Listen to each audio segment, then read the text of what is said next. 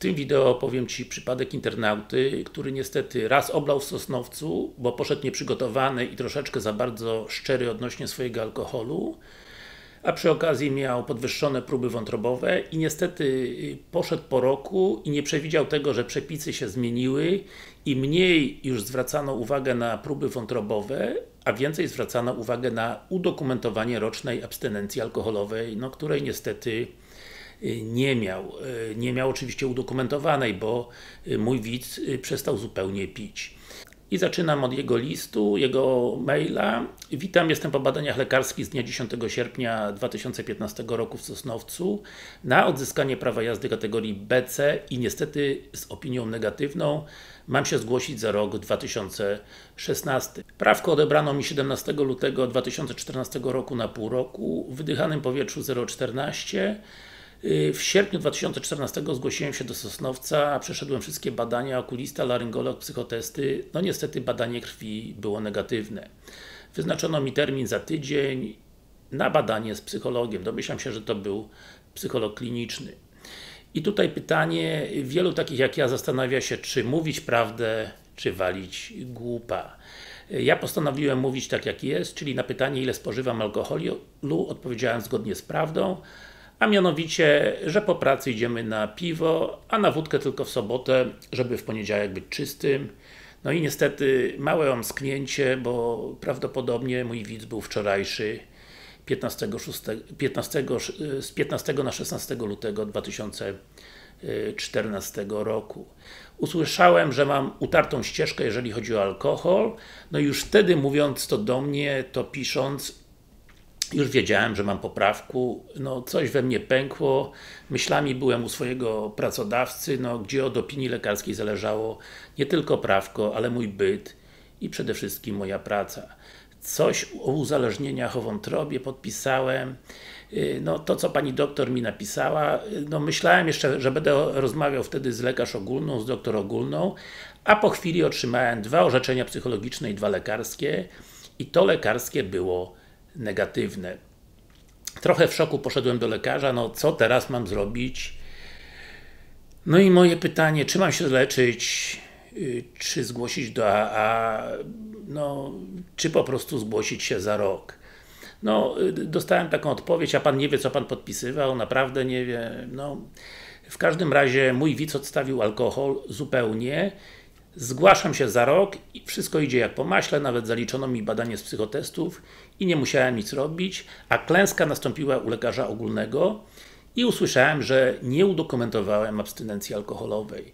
Czyli zapamiętaj jeszcze raz, y, kiedyś dawno temu próby wątrobowe były nieco ważniejsze, teraz jest ważniejsze udokumentowanie rocznej abstynencji alkoholowej. No i o po orzeczenie na następne badanie muszę się zgłosić za rok, czyli w sierpniu 2016 roku.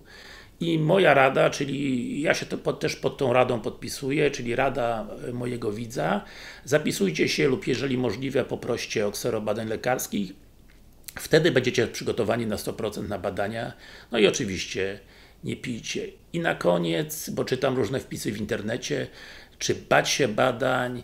No myślę, że każdy z nas się boi, no ale nie ma tak źle. No co prawda jest mroczna atmosfera, człowiek myśli, że wszyscy są do niego nastawieni tak jak do tak zwanego żula, pijaka, alkoholika.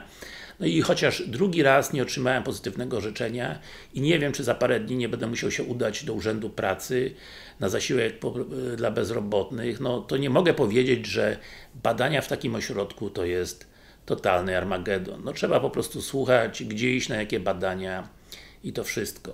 Nie spotkałem się z agresywną wypowiedzią w stylu jesteś pijakiem, alkoholikiem, nawet y, pierwszy raz, gdzie moje badania krwi były bardzo złe.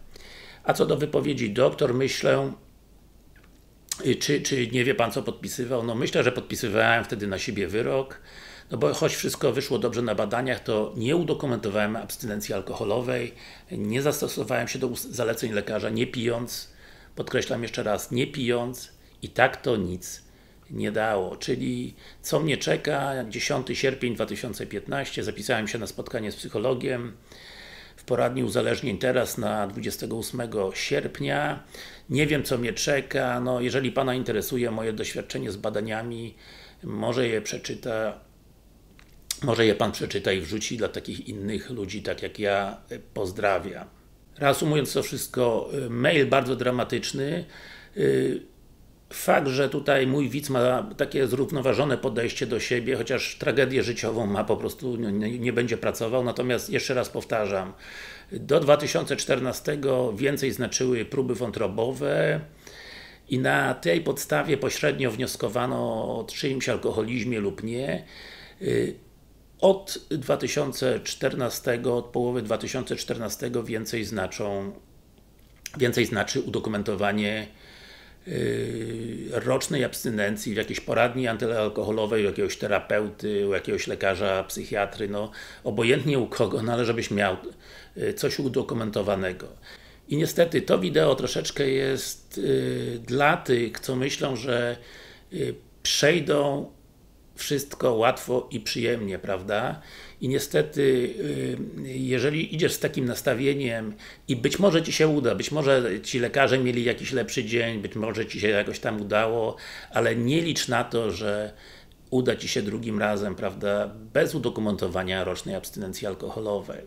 Także na tym kończę. Jeżeli masz coś ciekawego do powiedzenia w tym temacie, koniecznie Cię zapraszam do y, komentarza tego wideo i jeszcze raz y, podkreślam, nawet jeżeli Ci się jakoś udało y, przejść za pierwszym razem te psychotesty czy badania lekarskie, a złapią Cię za drugim razem, no wierz mi, że bez rocznej abstynencji alkoholowej nie masz szans. Także bye bye, mówił Darek Kraśnicki, lekarz specjalista medycyny transportu z Wrocławia i do zobaczenia w moim kolejnym wideo.